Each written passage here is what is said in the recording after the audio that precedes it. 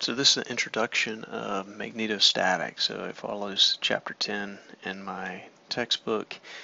And essentially what we want to do is look at steady current problems that create a static field or uh, we can approximate as quasi-static magnetic fields.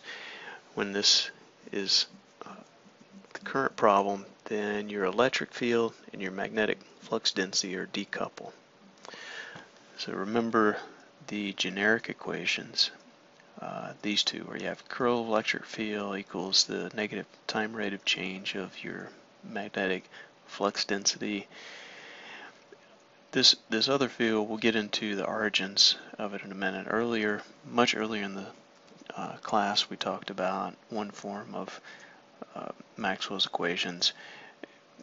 Not exactly in this form, but I'll, I'll show you where this comes from and how it connects with what's known as your your magnetic field H. So um, this will be defined below in terms of magnetic flux density as well as we'll introduce magnetization M. And we also have uh, current density. So if you have free-flowing charges in a conductor, you'll have this current density in addition to a time rate of change of electric displacement. So my D is that electric displacement that's associated with bound charge motion. Alright, so when we're strictly speaking about quasi-static or exactly static problems, both of these are zero and we're left with these two equations. Um, coming back to the more general or microscopic form, we have divergence of the magnetic flux density. So this always holds, whether or not it's static, quasi-static, or time-dependent. So this is slightly different than Gauss's law, We have div d equals, in general you could have a free charge density. This is always divergentless. Um, so that simplifies one of our continuity conditions. Um, the other equation is curl of that, uh, curl of your B field equals permeability of free space, your current density, and the curl of a magnetization.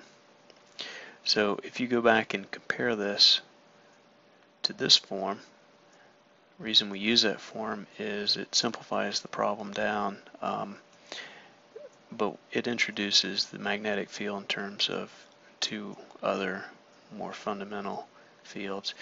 Uh, that should be an underline. That's a vector, magnetization vector, just like your B field.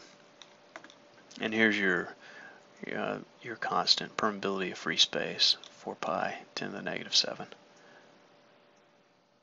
All right, so let's make a few approximations or simplifications. Let's say often that you can often say that magnetization is linear proportional to your magnetic field. It's proportional through this magnetic susceptibility constant. And if we start with the general relation here, do the substitution, and we get this down to this form. And this is my relative permeability, has to be greater than or equal to 1. Alright, so we can check this, you can plug this back in, crank it through this microscopic form of Maxwell's equations, and in the end things cancel and you get this equation. You can make a further simplification if there's no current flowing, no current density. Now your field is irrotational. Um, the only thing you have to make sure of is remember you've got magnetization inside here. So um, that can influence this irrotational problem. So the two key equations, magnetostatics, is one of these forms, the curl of the magnetic field, and divergence of the B field. And so I'm not going to get into the interface or boundary conditions, but you should know from electrostatics that the normal component of this B field, it has to be continuous across an interface. So remember using divergence theorem, we can show that. So that's always going to hold. And analogous to the electric field, the magnetic field has a similar property on an interface. So your tangential magnetic field is going to be continuous across an interface if there's no current free uh, current density. If that's present, then you take the limit down and you'll have a jump in that tangential field that depends on your surface current. thing I want to end this with, this initial discussion, is origins of your magnetization in materials. So if you start out at atomic scale, there's three contributions. One is you may have intrinsic spin on your nucleus, intrinsic spin on the electrons, and then these things are moving in space over an orbit, so you may have orbital motion. All these may contribute to that magnetization. So in this class we're focused on homogenizations of that atomic behavior.